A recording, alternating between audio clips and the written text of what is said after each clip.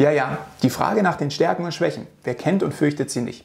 In diesem Video zeige ich dir, warum es bei der Antwort gar nicht so sehr auf den Inhalt, dafür aber viel mehr auf die Formulierung ankommt. Und damit du in Zukunft auf ganzer Linie überzeugst, gibt es von mir auch noch sechs geniale Beispielformulierungen für Antworten auf die Frage der Stärken und Schwächen. Nun aber viel Spaß beim Video.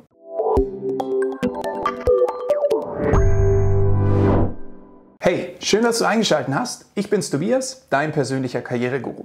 Zunächst mal möchte ich mit dem Mythos aufräumen, dass es auf die Frage nach den Stärken und Schwächen eine richtige oder falsche Antwort gibt.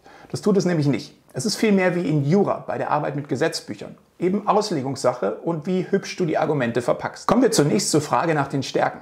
Jeder hat seine Stärken. Auch wenn sie dir möglicherweise aktuell nicht auf der Hand liegen, frag am besten mal deine Freunde und Familie und sie können dir sicherlich sagen, worin du gut bist. Im Vorstellungsgespräch möchte der Personaler allerdings nicht hören, dass du gut im Kochen bist oder besonders schnell laufen kannst. Das hat im Zweifel nichts mit der Stelle zu tun. Genauso wenig möchte er hören, dass du ehrlich und zuverlässig bist. Denn das wird vorausgesetzt. Es geht vielmehr darum, positive Eigenschaften zu formulieren, die auf die ausgeschriebene Stelle passen und die dir in der Vergangenheit in Situationen bereits geholfen haben. Die Antwort auf die Frage nach den Stärken sollte wie folgt aufgebaut sein.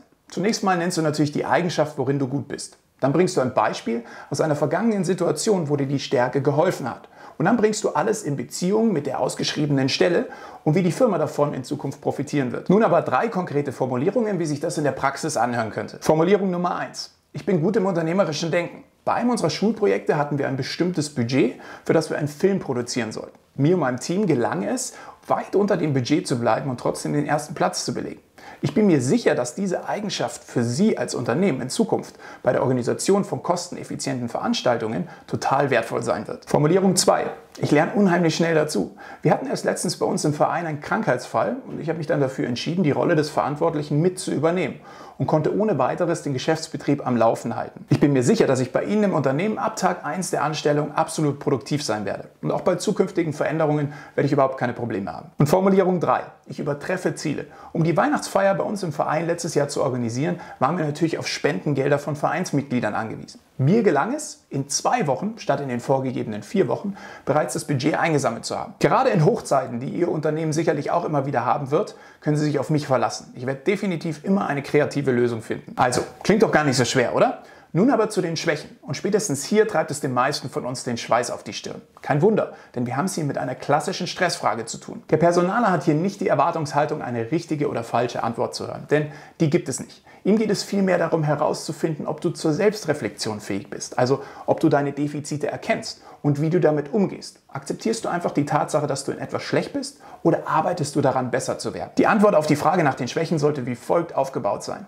Zunächst mal nennst du natürlich dein Defizit. Im Anschluss zeigst du, wie du mit der Situation umgehst und was du dagegen tust. Drei konkrete Formulierungen, wie sich das in der Praxis anhören kann, wären folgende. Formulierung Nummer eins: Ich habe Probleme damit, vor größerem Publikum zu sprechen. Ich fühle mich dann immer ein bisschen unwohl und nervös.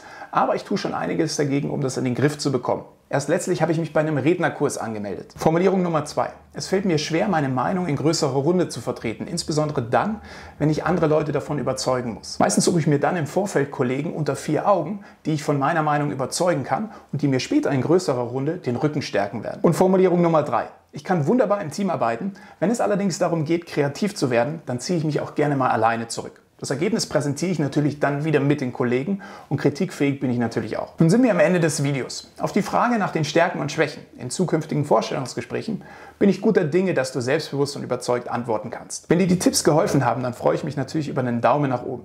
Wenn du sonst noch irgendwelche Fragen zum Thema hast, dann schreib mir das unten in die Kommentare und ich versuche dich dabei zu unterstützen. Sofern du meinen Channel Karriereguru noch nicht abonniert hast, dann mach das doch am besten gleich und aktiviere die Benachrichtigungen. Dann wirst du in Zukunft kein Video mehr verpassen.